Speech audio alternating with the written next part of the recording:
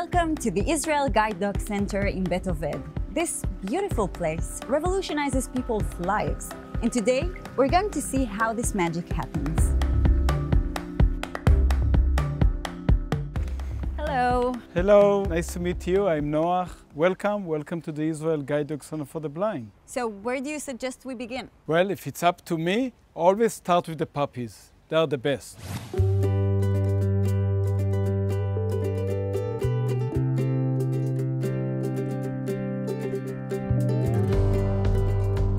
So, tell me about this place. So this is our puppy house. This is where the uh, puppies are born. For the first five weeks, they're with their mother, they nurse, and the next couple of weeks is time for them to be enriched. We do uh, different surfaces for them to step on. We have noises, we have different kind of toys. And then at the age of seven weeks, they start their second stage of life, which is outside of here, with volunteers, which are puppy walkers. At the age of one year, when they're finished with their puppy walkers, they come in here for training.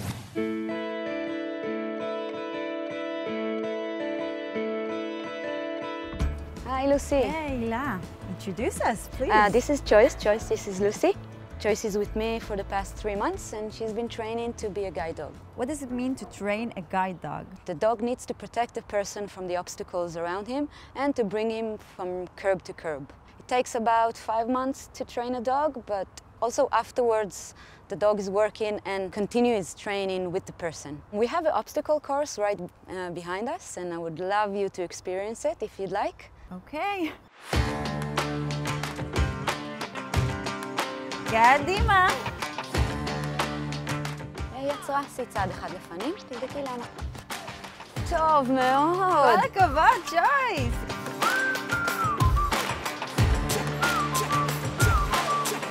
היא יצרה, נראה למה יצרה. טוב תודה.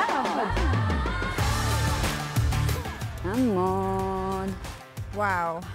How was the experience? It was amazing, actually. I mean, I felt confident. I completely saw it, and the fact that you were confident and calm, um, you gave Joyce the opportunity to do the job. So you were a good team.